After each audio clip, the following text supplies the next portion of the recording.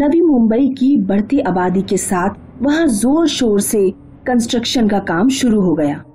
इन्हीं में से एक बिल्डिंग के कंस्ट्रक्शन में काम करती थी नंदिनी, जो एक इंजीनियर थी।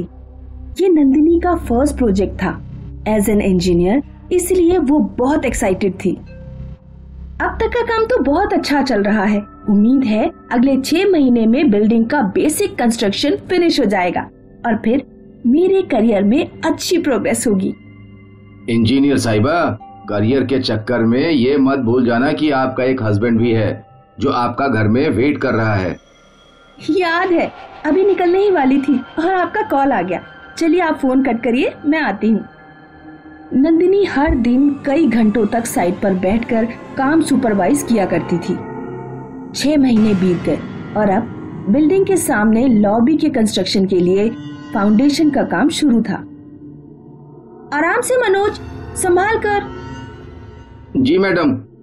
नंदिनी को सारे वर्कर की बहुत फ़िक्र रहती थी। एक दिन नंदिनी हाफ़ डे में ही साइट से चली गई। नंदिनी को घर पहुंचकर बहुत सारी तैयारियाँ करनी थी क्योंकि आज उसकी शादी की पहली एनिवर्सरी थी।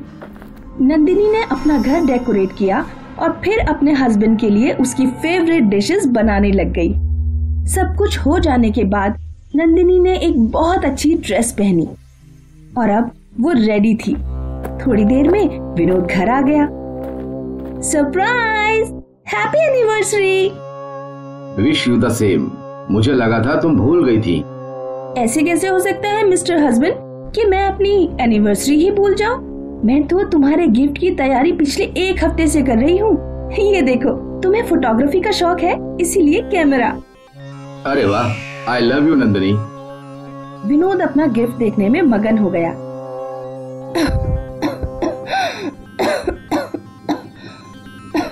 और मेरा गिफ्ट भूल गए क्या? विनोद ने नंदिनी को डायमंड नेकलेस गिफ्ट किया जो देखकर नंदिनी बहुत खुश थी। वो लोग आपस में बात कर ही रहे थे कि अचानक नंदिनी का फ़ोन बजा। एक मिनट विनोद साइड से फ़ोन है। हेलो? हाँ मुकेश बोलो। क्या? कैसे? सुबह तक तो सब ठीक था। ठीक है मैं आ रही हूँ। तुम अभी जाओगी? साइट पे एक प्रॉब्लम हो गई है। अर्जेंट जाना पड़ेगा। मैं दो घंटे में आ जाऊँगी। तब तक तुम फ्रेश हो जाओ। प्लीज़ हम्म ठीक है पर जल्दी आना। नंदिनी अपने घर से साइट के लिए निकली। वो कंस्ट्रक्शन साइट पर पहुँची और वहाँ के सुपरवाइजर ने नंदिनी को प्रॉब्लम बताई। पर टेरेस का काम तो एक महीने पहले ही हुआ था। अचानक वहाँ के वॉल में क्रैक कैसे आ सकता है? यही नहीं समझ आ रहा है मैडम। आप चलकर खुद देख लीजिए। ठीक है चलो देखते हैं। नंदिनी सुपरवाइजर के साथ ऊपर गई और वहाँ दीवार पर आई हुई क्रैक देखने लगी। मैडम अगर इस वॉल पे और लोड आया तो पूरी बिल्डिंग की वॉल में क्रैक आ जाएगा। पर ये क्रैक क्यों आया?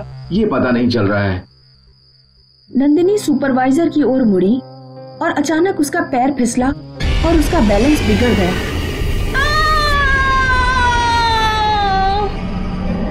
मैडम! नंदिनी सीधा लॉबी की कंस्ट्रक्शन की रॉड्स पर गिर गई और वो रॉड नंदिनी के आर पार हो गई। नंदिनी को बड़ी ही दर्दनाक मौत मिली। अक्सर नंदिनी की फ़ोटो देखकर रोया करता था। कंस्ट्रक्शन का काम रुका नहीं, वो चलता रहा। लेकिन सूरज ढलने के बाद लोगों को नंदिनी की चीख सुनाई देती थी। चीख सुनकर लेबर भागने लगे। जैसे तैसे बिल्डिंग के कंस्ट्रक्शन का काम पूरा हुआ। वहाँ लोग आकर रहने लगे। लेकिन हर रात लोग नंदिनी की चीखों से सहम जाते थे। फिर कुछ महीने बाद यहाँ एक औरत रहने आई, मधुलिका। मधुलिका एक मीडियम थी। मतलब वो आत्माओं से बातें भी कर सकती थी और आत्माएँ उसके शरीर में दाखिल भी हो सकती थी। एक रात मधुलिका ने नंदिनी की आत्मा की चीख सुनी। वो उस दिशा में दौड़ पड़ी। मधुलिका ने देखा कि नंदिनी की आत्मा रो रही थी। क्या हुआ? तुम रो क्यों रही हो? क्या तुम मुझे देख सकती हो? हाँ पर कैसे? क्योंकि मैं एक मीडियम हूँ, इंसानों और आत्माओं के बीच। तुम्हारी आत्मा यहाँ कैसे आ गई? नंदिनी की आत्मा ने उसे अपनी कहानी सुनाई। ओह, तुम्हारे साथ बहुत बुरा हुआ, पर तुम्हारी आखिरी विश क्या थी? जो अधूरी रह गई, जो तुम यहीं फंस गई? मैं अपने हस्बैंड को अपने हाथ से खाना खिलाना चाहती थी, लेकिन उससे पहले मेरी मौत हो गई। मैं तुम्हारी ये विश पूरी कर सकती हूँ और तुम्हें मुक्ति भी दिलवा सकती हूँ। क्या ये सच में हो सकता है? हाँ अगली पूर्णिमा को मैं तुम्हें बुलाऊँगी। तुम्हें मेरी बॉडी में एंटर करना है। फिर अपनी विश पूरी करनी है और फिर तुम मुक्त हो जाओगी। लेकिन तब तक तुम किसी को नहीं डराओगी। प्रॉमिस प्रॉमिस अगले दिन मधुलिका विनोद से मिलने उसके घर गई। आप नंदिनी के हस्बैंड है ना? जी हाँ पर शायद आप नहीं जानती कि नंदिनी को मरे हुए काफ़ी वक्त हो गया है। मैं जानती हूँ और ये भी कि अब तक नंदिनी को मुक्ति नहीं मिली। क्या मतलब आपका? मैं एक मीडियम हूँ मतलब इंसानों और आत्माओं के बीच का दरवाज़ा। मैं आपको भी देख सकती हूँ और आत्माओं को भी और कल ही मैं नंदिनी की आत्मा से मिली थी। आत्मा? विनोद नंदिनी को अब तक मुक्ति नहीं मिली क्योंकि उसकी लास्ट विश अब तक अधूरी है। वो तुम्हें अपने हाथ से डिनर खिलाना चाहती थी।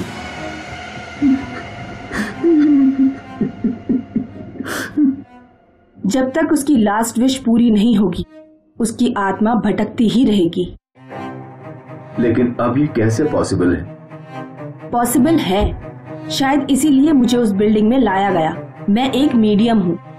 कोई भी आत्मा मेरे बुलाने से मेरी बॉडी में आ सकती है और अगली पूर्णिमा को नंदिनी की आत्मा मेरे शरीर में होगी। तब वो तुम्हें खाना खिलाएगी शायद रोएगी भी। पर इससे उसे मुक्ति मिल जाएगी।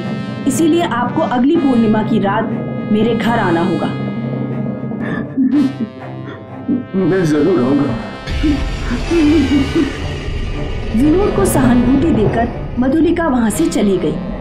पूर्णिमा का दिन आया और मधुलिका ने सुबह से तैयारियाँ शुरू कर दी। उसने ज़मीन पर पेंटिगन बनाया। अलग अलग पत्थर रखे और शाम से ही मेडिटेशन में बैठ गई। लगभग सात बजे उसके घर की डोरबेल बजी और विनोद आ गया। अब जैसे ही मेरा मेडिटेशन खत्म होगा, मैं नंदिनी को बुलाऊँगी। फिर इस रूम की लाइट्स बंद हो जाएँगी और हवा तेज हो जाएगी। और तब नंदिनी मेरी बॉडी में प्रवेश कर चुकी होगी। ये खाना मैंने बनाकर रखा है। नंदिनी आपको ये खिलाएगी और देन बेहोश हो जाएगी। बस उसे मुक्ति मिल जाएगी। उसे कोई तकलीफ़ तो नहीं होगी ना? नहीं। ठीक है। और फिर मधुरिका मेडिटेशन करने लगी। कुछ देर बाद। नंदिनी नंदिनी तुम्हारा विनोद आ गया। बस इतना बोलते ही हवाएँ तेज हो गई। कमरे की लाइट्स बंद चालू होने लगी। और अब जब मधुलिका ने आँखें खोली तो विनोद विनोद, मैं तुम्हारी नंदिनी हूँ।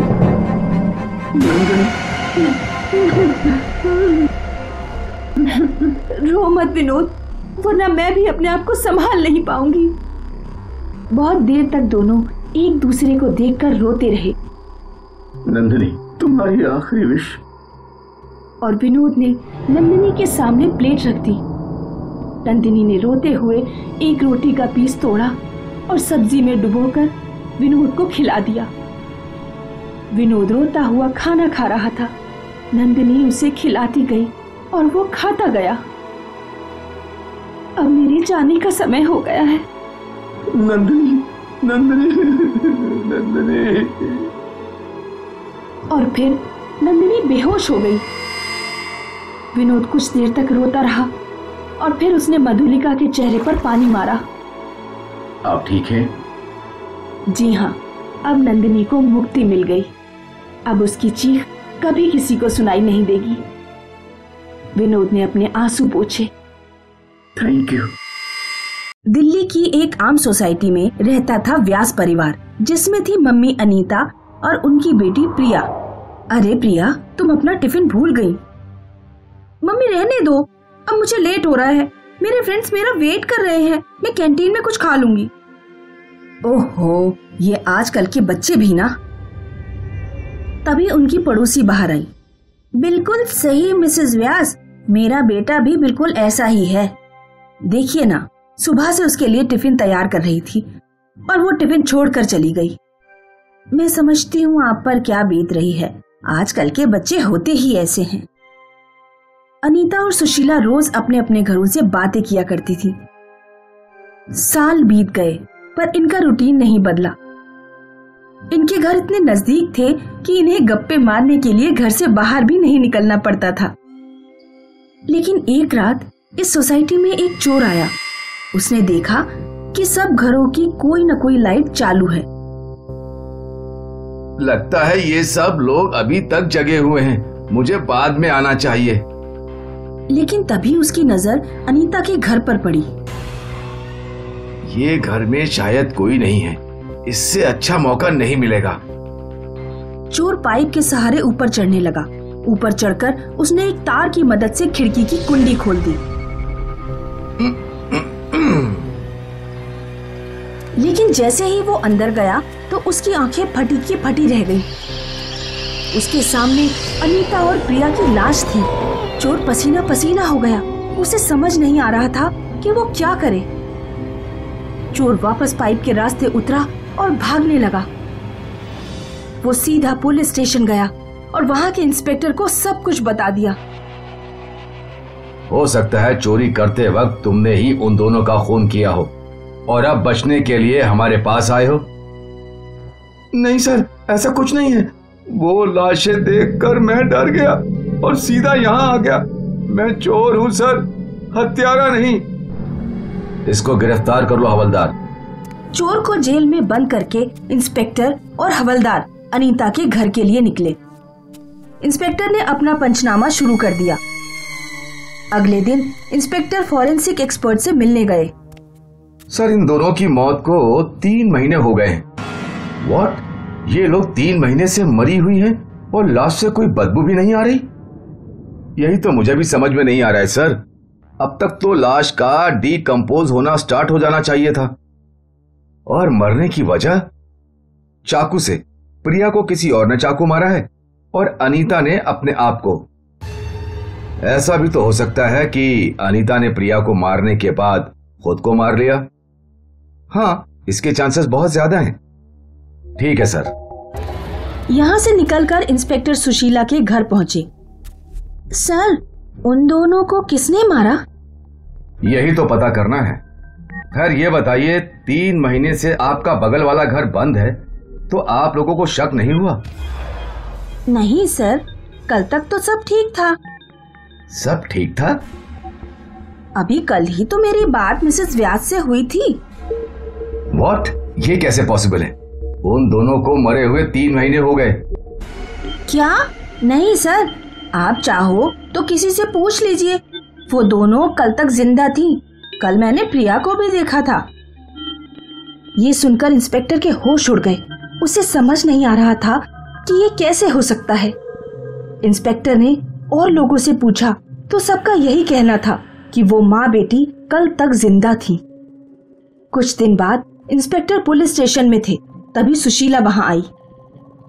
सर कुछ तो गड़बड़ है। क्यों? क्या हुआ? आज भी उस घर की लाइट्स ऑन रहती हैं। रोज अगरबत्ती की खुशबू आती है। ऐसा लगता है कि कोई वहाँ है पर पता नहीं कौन।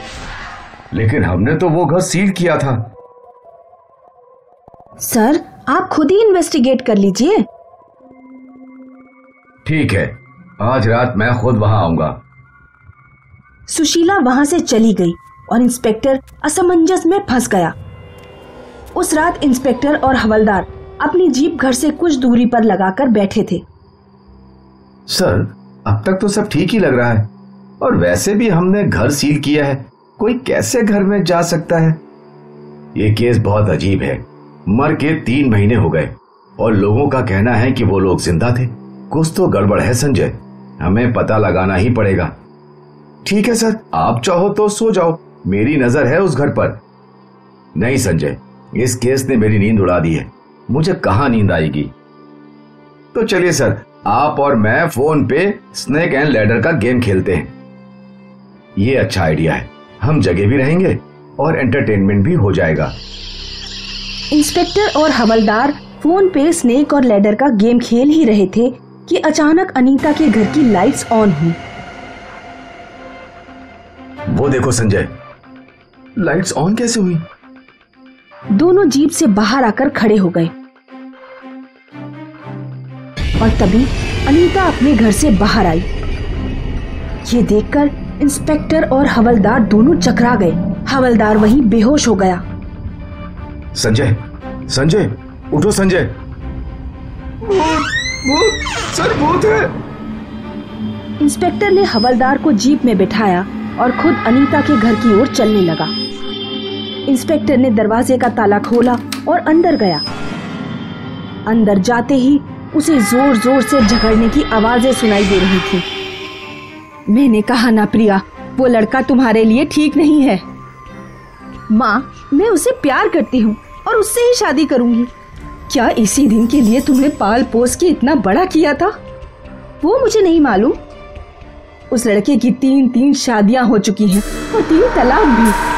अब तक उसे समझने वाली कोई मिली नहीं इसीलिए। और माँ, हम दोनों एक दूसरे के लिए ही बने हैं। वो तुम्हारे साथ भी वैसा ही करेगा, जैसा उसने अपनी पहली तीन बीवियों के साथ किया था। माँ, तुम उसे नहीं जानती और वैसे भी मैं उसके बच्चे की माँ बनने वाली हूँ। हे भगवान, ये तुमने क्या कर दिया? अब मैं दुनिया को क्या मुँह दिखाऊँगी? ये समाज मुझे बोलेगा, बिन बाप की लड़की को मैं अच्छे संस्कार नहीं दे पाई। माँ, आपको अब भी समाज की पड़ी है, मेरी नहीं। मुझे तुम्हारी पड़ी है, और तुम्हें इस समाज में ही रहना है। इसीलिए हम कल ही अबॉर्शन करवाएँगे। मैं अबॉर्शन नहीं करवाऊँगी। तुझे कराना पड़ेगा। नहीं करवाऊँगी। प्रिया, तुझे करना पड़ेगा, वरना मैं वरना क्या? आप मुझे मार देंगी? हाँ।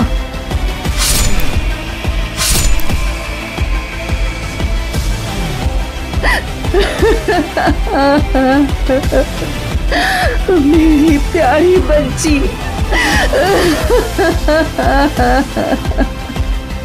फिर अनीता ने खुद को भी चाकू मार लिया। ये सब इंस्पेक्टर ने अपनी आँखों से देखा और फिर इंस्पेक्टर बेहोश हो गया। अगली सुबह जब इंस्पेक्टर को होश आया, तब उसे समझ नहीं आ रहा था कि उसके साथ क्या हुआ।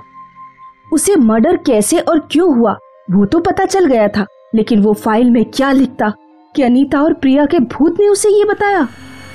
अब भी इस घर में अक्सर अनीता और प्रिया झगड़ती हैं।